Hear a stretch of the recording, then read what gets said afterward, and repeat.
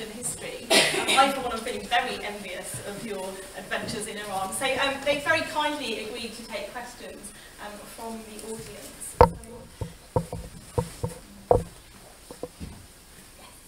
Question coming out just from ignorance for Lynette. Uh, have there been paleobotanical investigations of the gardens to know which trees exactly were planted? Because I remember listening to a lecture of uh, about uh, an apadana in actual Azerbaijan, which is very complicated because then it probably means that not only the kings have the right to have a apadanas, because no king is attested there, and there, there were mostly peach trees. So I was wondering if it's no, we only, we only know from um, various references in, in, other things um, and from the reliefs at Persepolis. And in, and in my view, I think this is very much my view, um, the reliefs at Persepolis do represent quite closely the gardens that were actually there. And there are cypress trees and there are palm trees. Um, but I think too that there was, there, we do know from um, um, from Achaemenid inscriptions, although from slightly later than Cyrus period, we don't really have inscriptions that early, that um, that there was a, and, and from other sources, that part of the ideology of the whole thing was to bring trees from all over the empire, so that all the good of the empire could be available to the king in his garden.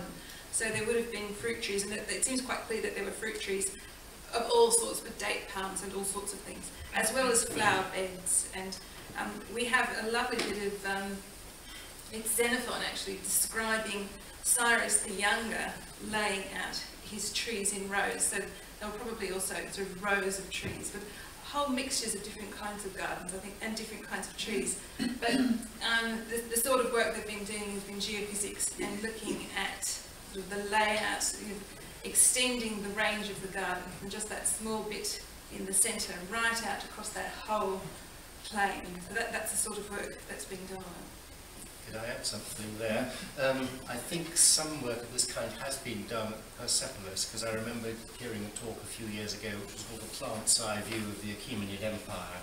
Um, this was one of those APA talks, which was just very, very short, but they certainly have done some investigation of, uh, of the plants that, that grew in, in some places, they're not, in the Arsacidai.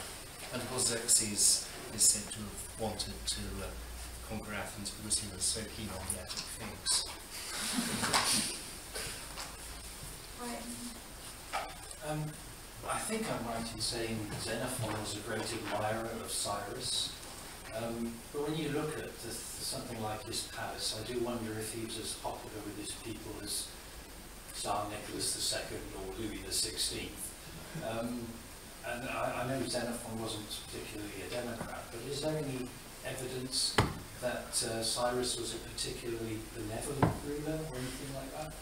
The sort of evidence that people would use to make that kind of claim is things like the, the Cyrus cylinder, which um, uh, talks about how Cyrus brings back the gods of, um, of the Babylonians to Babylon and We've also got biblical text where Cyrus is restoring um, uh, restoring the temple in Jerusalem and allowing the, the Jews to return to Jerusalem. So there is that kind of religious tolerance and the propaganda that's associated with it. But it's, it's generally a Achaemenid, um, my students have heard me on this before, um, a Achaemenid policy is that um, what the Achaemenid Empire was largely about was money and finance, and they pretty much left um, subject states to look after themselves, both in religious terms and in political terms. So benevolence is probably not quite the right word, even though it can look like that when you look at the Cyrus cylinder,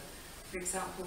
Um, but it, it's more just letting, you know, they put an elaborate imperial structure in place, but then just you know, let people get on with it by and large. Um, they weren't really interested in in interfering. Uh, I think you, would you agree with me? Mm. Yeah, yeah.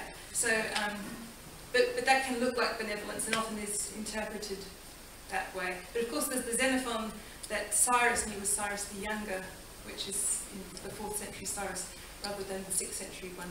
But he's, he does sort of extrapolate back from, from Cyrus to Cyrus. I should say that Cyrus is still enormously important for the Iranians. Our guide, who was very anti-Islamic and clearly harked back to a pre-Islamic past, said, when we asked him, well, who, who are the two creators of the nation? He said, well, Cyrus and Ferdowsi, who was a 10th century poet who wrote the Shahnameh in Persian in early Islamic Iran. Shahnameh being, Richard is an expert on it, the annals of the kings of Persia. So those were the two great founders of the Persian nation, the creators of the nation, Cyrus and Ferdowsi. Uh, thinking about um, uh, Lynette's uh, garden, which is both accessible and inaccessible, but surely the absence of a, of a defensive wall doesn't make it accessible. I mean, think of uh, the Genesis story. All you need is guards to keep people out, the equivalent of the angel with the flaming sword. So I, I don't think one should necessarily think that the boundaries of the paradise are sort of full up permeable, even if there wasn't a wall.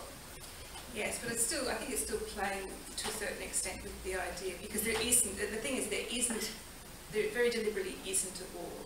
Whereas if you go to somewhere like Persepolis, there is, there is a boundary wall and at Susa there's a boundary wall. And in other of these, you know, these Near Eastern palaces, there were very clearly boundary walls. And of course, you know, the, the whole thing is that you, you had to go through those gates. But, but even at Persepolis, um, and it was you know, Persepolis was absolutely wonderful, but the, the, the gateway that one has to go through in order to enter the, the palace proper isn't set within the wall. So again, you know, yes, you had to go through one had to go through but it's playing with the ideas of, of, of, um, of you know, it's not part of, of the boundary, it, and it's actually set within it, but there's no way we could have avoided it. But it's, it's you know, there's, I think these ideological games and these games with protocol that one, you know, one had to, and it would have taken, it probably, well, Cyrus clearly did have a lot of um, soldiers available, but it would have taken an awful lot to, to, you know, that, that's a very large space that we're, we're talking about. I think it's two kilometres long from one end down to uh, Cyrus' tomb at the other. Um, another question about gardens, sorry. It clearly would take an enormous amount of work to get all of the stuff there and to maintain it as um, as green as it would have to be for it to be an impressive sort of um, site.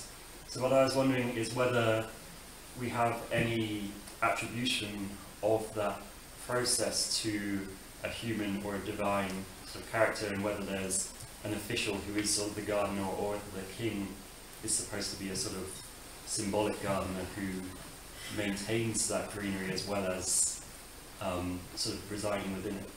The second, it seems to be the case. Um, uh, when Xenophon talks about Cyrus, it's Cyrus as the gardener. So it's actually Cyrus planting the little trees in their rows. So, um, but in terms of, sort of the, you know, there must have been whole teams of, of real gardeners, and there were the waterworks, the, um, the dams in the hills behind, um, and the irrigation systems uh, that, have, that have been you know, quite elaborate irrigation systems to bring the water in. It was, a, it was an enormous technological feat, apparently of a kind which is similar to a Babylonian rather than a way of doing things, because they weren't trying to go up into walls, a plane, so it's, it's gravity thing. But, but it's the the sense is, is that the king is the gardener. And it's his garden, he resides in it, but he also he owns it, he plants it. Um, with the representation of Xerxes sort of seated on the throne with sceptre and lotus flower, would you say that there's any sort of connection to representations of, say, Hellenistic representations of Zeus, the throne with sceptre and thunderbolt, where the thunderbolt sometimes takes a lotus flower-esque form, or is there sort of any connection connection between those? Know, Well, I suppose it's uh, um, Anglo-Hellenistic uh, coiners may have may have seen these these things. Um, I haven't really thought of a a sceptre or a thunderbolt looking much like a, a lotus flower, but I suppose it is possible. And I mean, if you have somebody in uh, in royal state, what they tend to do is, is sit on their throne uh, in a dignified posture, holding something. um, um, I, I would be surprised if there was any really direct influence from from Persian sculpture onto uh, onto Greek uh, moneying. But it is, of course, a very big question in general about whether um, how much influence there is of Persian art on Greek art of the 5th century and indeed vice versa. And there's quite uh, big controversy to get underway about uh, the, uh, the Greek craftsmen who worked at uh, Persepolis and elsewhere and how influential they were on the actual development of the style. Um, whether, Persepolitan art is, is looking westwards or whether it's thoroughly Near Eastern. You know, the art is somewhere in between and there, there is a bit of influence uh, going hither and thither. But it is quite striking that if you look at the Western Empire more generally Asia Minor, you don't really find any attempt to replicate the, the Persepolitan models, the models from the, from, from the core. You don't get that kind of art, Greek art in that, uh, in that part of the world looks very different, except in Lycia, where, uh, where you do get quite interesting represent, um, reproduction of um, audience scenes, uh, the, the lion bull um, sculpture relief, which I showed um, at Persepolis, it is copied um, on a tomb at Xanthus, which I saw for the first time about 10 days ago. Um, the style is uh, it's, it's exactly the same, but it's just more softer, slightly more naturalistic. Um, but the model is obviously Persian. But that's really the only part of the, the Western Empire where you get a um, influence, direct influence from the, the Persian core.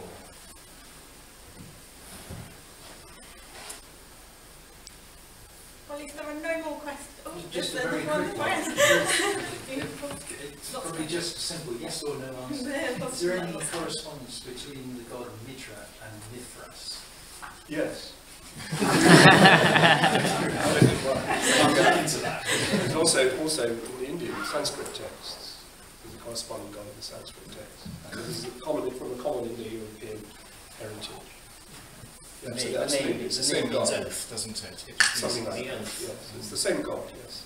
So he's the, he's the god who represents the, uh, um, the, the, the binding relationship between God and man, as it were.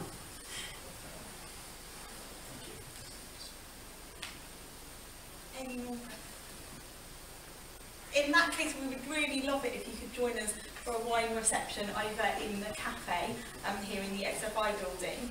Um, we would ask if you are able to make a donation to help cover the costs of that reception if you could do so. We are a charitable organisation um, and ideally we want to plough our funds into supporting the language teaching programme in schools.